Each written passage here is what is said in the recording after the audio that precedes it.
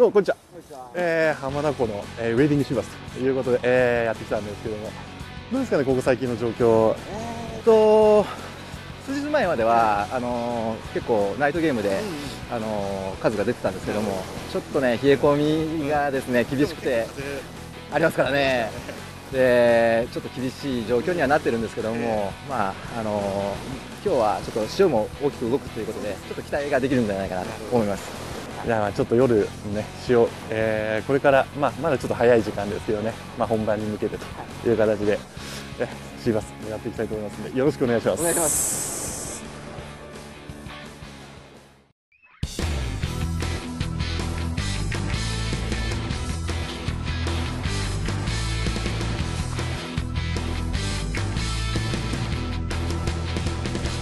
欄干からちょっと高いところの間があの高いところがあそこに航路が走ってるんですよね、うん、で,、うん、でそれのもう向こう側にもあの大きな航路があってでもう全体的にここがすごい浜名湖で一番大きな航路になるんです、ええ、ちょうどね今潮変わりですね、えー、上げいっぱいから今度下げ、えー、潮落とし始めるタイミングで今ね釣りを始めましたちょっとまあルアーローテーションしてちょっと状況を見るに、えー、これマニックの135一番大きいサイズのマニックですね、えー、にちょっとチェンジという形でアクション自体はねあのかなりちっちゃいアクションなんですけどあのシレットで、ね、見せながらでも微波動が出るもんでそのちっちゃい波動の方で今度、えー、食わせていこうという形で、まあ、ちょっと、えー、アピールの強いものから弱いもので目立つもの目立たないものという形での、えー、ローテーションしながらちょっと一番いい反応を探っていこうと。そういう感じですね。水があの澄んでるんであの、まあ、僕は結構クリア系を主体としてであのまあ、擦れてきたなと思ったらカラーチェンジして、まあ、いろんな、あのフォローが入ってたりとかねそういうものに、あのチェンジしていきます。ただねどちらかというとねマニックの場合はレンジがね結構上なんですね。こう竿立てながら、あのー、引いてくると水面に波紋残しながら、えー、アクションもできる。で、まあ、多少落とそうと思っても、まあ、2 3 0センチぐらいの層をキープしてくるような形の釣り方もできるんですけどいずれにしても上なもんであの魚がね、あのー、上まで出てこないような時だともう一つ今度落とすために今度はね、あのー、別のルアーチョイスしていくっていうのもありますんでこれはちょっと状況を見ながらねルアーローテーションしていきますね。まだまだちょっとね潮が効いてないんであれなんですけど引き始めのタイミングでも意外とシーバスってくるんでそのタイミングで出てくれたらなと。まずは。で竿はね今日は昭和岩の ML クラスですね。自分が使ってるのはこれ今86の ML ですで大野さんがね7級ですね。一番短いやつ。で魚のサイズねあのよければ例年などね80のブリブリのやつも入るっていうことなんですけどまあそれでも十分対応できますしで今シーズンはね若干、えー、今も産卵終わってえー、まあ、60、70っていうところの魚、えー、釣っていくような形なんですけど、まあ、当然パワー的に何ら問題なく、えー、いけていくと、いう竿ですねのねあの竿の立て方一つで割とねあのルアーの餌を自由に変えられるんで。今は少しねあの水の中完全に沈めながらいく感じ。ストラクチャーがあってあの沈み根があってでその沖にこう航路が走ってるんでまあ一番深いところからまあこの潮位が下げた時は浅くなったところにあの沈み根が結構入ってるんで、まあ、タイミング的にはこの状況タイミングが、まあ、あの魚が、あの出やすいかなと。いよいよっていう雰囲気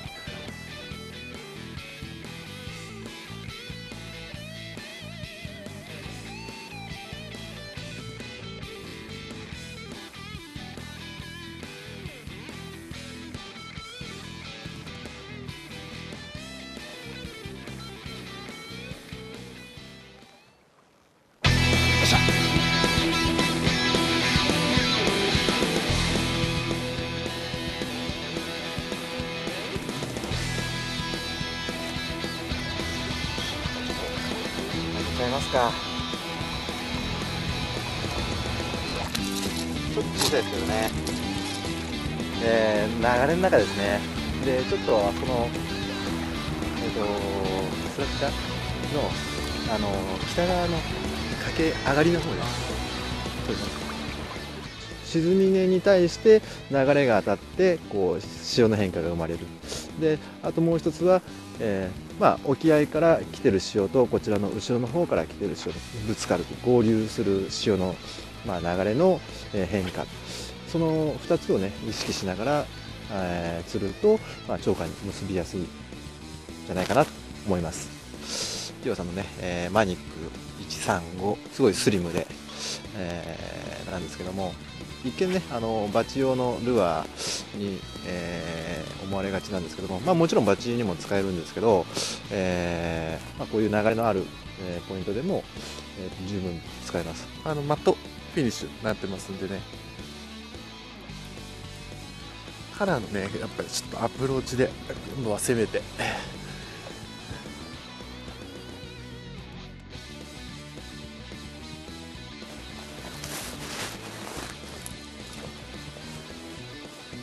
クリア系でね行ってみたいと思いますね。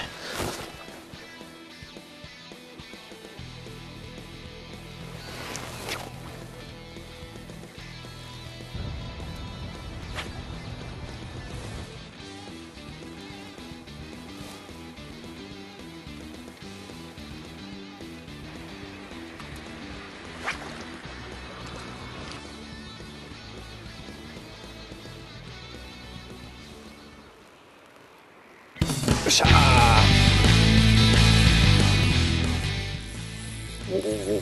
おお流れに乗って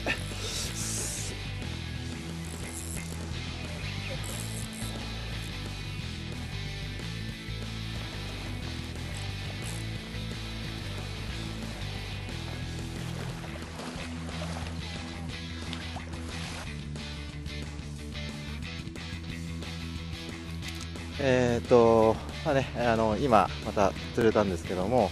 えー、同じくマニックの135で、まああのえー、流れのね変化を、えー、探りながらちょっとね今遠かったんで、えー、ちょっとねあの飛距離が出せるやっぱマニックですねが、えー、有効に、えー、使えたんじゃないかなと思います。竿の方なんですけども今日はあの昭和岩のえーと、79ML っていうものを使ってるんですけども飛距離もね出せるんであの僕はこのショーガの79っていうのを使ってます、はい、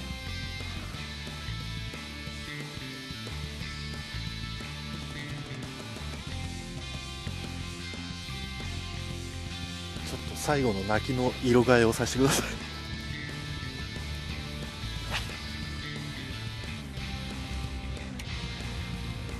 もうどちらかというとね長いのでポイントにこう落とし込んであげるようなイメージで。魚の鼻先を通すイメージなんですけどね。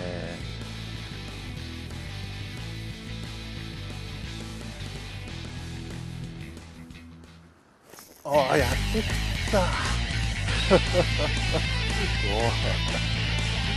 おじいちゃんだけど嬉しいっす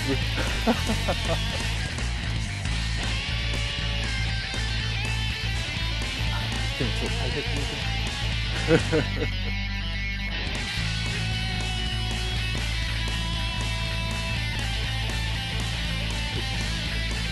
はいはいはい。お尻だけど嬉しいな。よ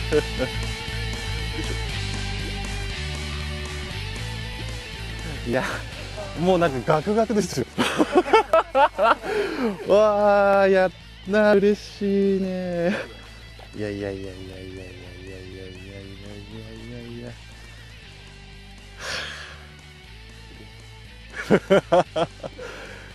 やっぱり遠いですね。うん。でもうもうもう底りでもう過ぎてねだいぶ塩たるくなってきたところなんですけど。いやー嬉しい。ああ嬉しい。やった。ああ天のシーバスありがとう。やりました。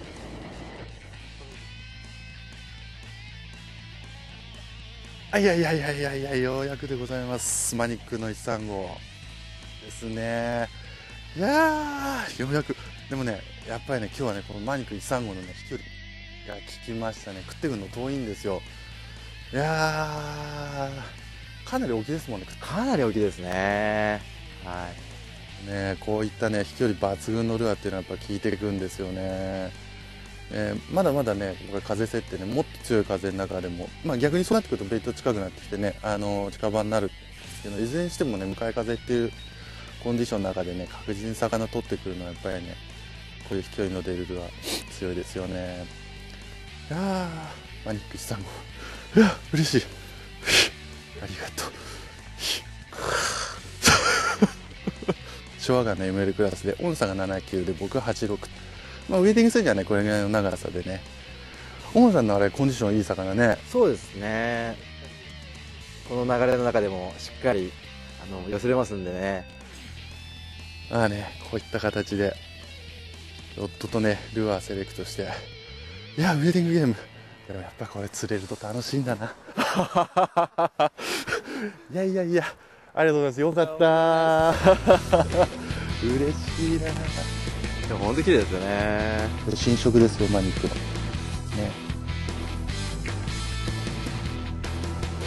もうもうもうもう。感動の一匹だ。